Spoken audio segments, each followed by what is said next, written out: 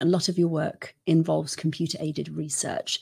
Can you explain exactly what that means for you as an historian? There are two quite different methods or tools I've been using. First of all, I've been working with social network analysis, in which we study the interactions or connections between Asian people. It's a bit similar to thinking of, of Facebook and your Facebook friends. You have a connection to all of your friends, and then if you would visualize those connections as in which when people have a connection there would be a line between them and then you would end up having a very complicated network of, of people being connected to each other. In this Facebook example, the connection would be a, a friendship tie or something similar.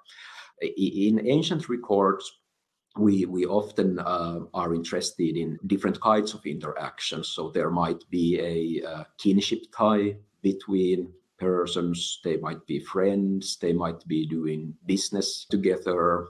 One might be an official, let's say, and another one might be uh, his underling, and, and so on and so forth.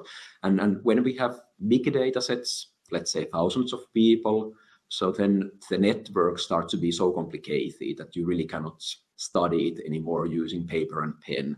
But there are many computational methods to study these networks that allow us to see what kind of structure you have in the network. Are there some central people who really keep the network together? Some people who connect to different parts of the network. And in this way, we can try to learn more about the social roles the people were playing in that net. So this study of networks is one thing uh, I've been doing. Another one uh, relates to computational and uh, to the uh, meaning of different words. Um, in ancient records, the problem is that we, we cannot go and ask people, what does this word mean? So the only way to understand the meaning of words is to study the context in, in which they occur. And that's the way how research has been done for, for decades and centuries. People have been reading text, and when they encounter a strange word, they try to understand its meaning by looking at the context, the other words that surround the word you don't know.